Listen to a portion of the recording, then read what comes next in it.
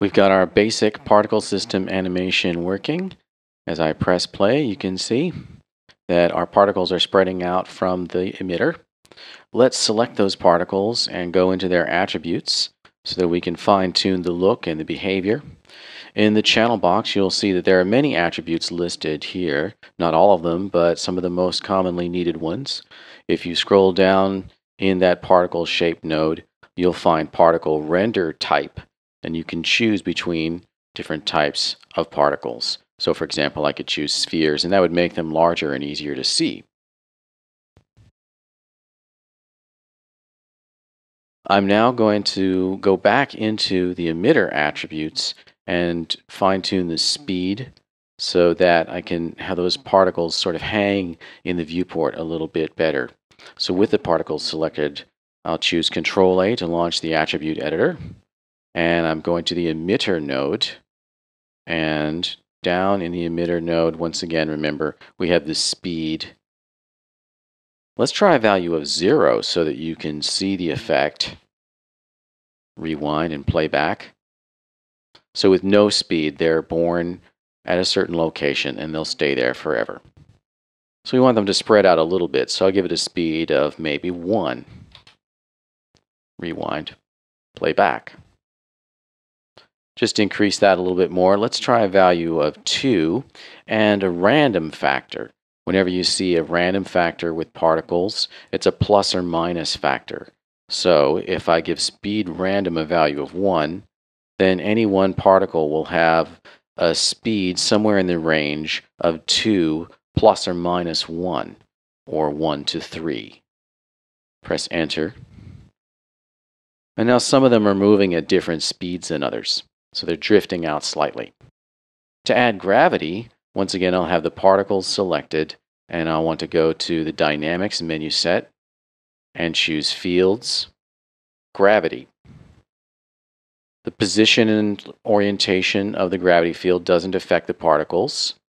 The only thing that matters is the gravity field strength. That's called the magnitude. You'll see it here in the attribute editor or in the channel box, magnitude. And that's 9.8 meters per second squared. I'm creating fairy dust here, so I get to adjust the value of gravity to whatever feels right in my viewport. So I can increase that maybe to 25. Rewind and play back. And now my particles are falling a little bit faster. Excellent. Next, I want those particles to collide with the ground plane. Press that 5 key so you can see it particles are falling through the ground plane. It's very easy to make them collide. All you have to do is select the particles, select the collision object, go to Dynamics, Particles, Make Collide. Rewind and play back. And it's simple as that. To adjust the bounciness and friction, select the ground plane or other collision object, go into the channel box. At the bottom, you will see an output node labeled GeoConnector. Open that up, and within there, you will see resilience, which is the bounciness, and friction. So if I give this a resilience or bounciness of 0.2, rewind, and now we'll see those particles sort of just land. I'm not going to spend too much time on that because it's the particles in motion in the air that I'm most concerned with, but you can have a lot of fun and play around with this to get different effects. Currently, our particles live forever, and what I'd like to have happen is for them to fade out over time. So to accomplish that, I want to give them a lifespan so that they'll disappear after a certain period of time. I'm going to select those particles, go back to the attribute editor, Control A, and in the particle shape node, I'll scroll down and you'll see lifespan attributes. And instead of live forever, I'll choose random range and give that a value of maybe 1.5 seconds plus or minus 0.5 seconds. And now the particles will live long enough to touch the ground, but then they'll wink out of existence. Maybe I'll give it two seconds plus or minus 0.5. to give them a chance to land and settle. This also helps with the efficiency of our scene because we're not building up more and more particles with each frame. Eventually it reaches a saturation point and your particle count overall will level out. By the way, you can see your particle count. It's just here in the attribute editor.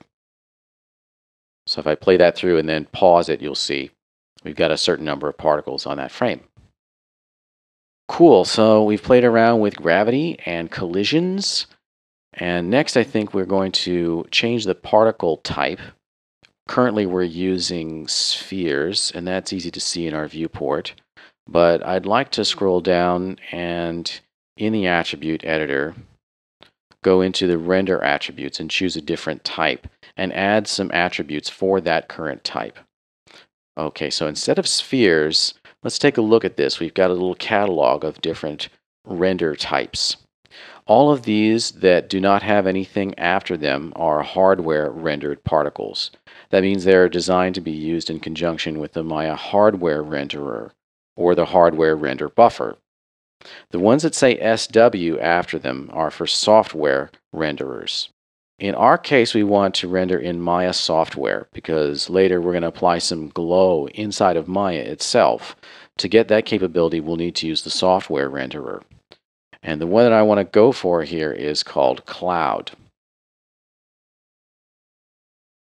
And now you can see we're getting little fuzzy circles instead of hard circles for the spheres.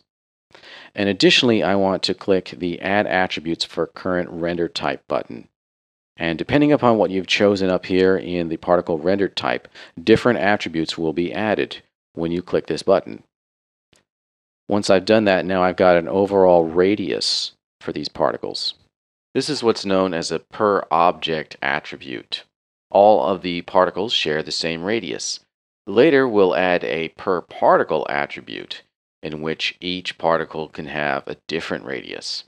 Now I'll save my scene, file save scene as to particles103.ma.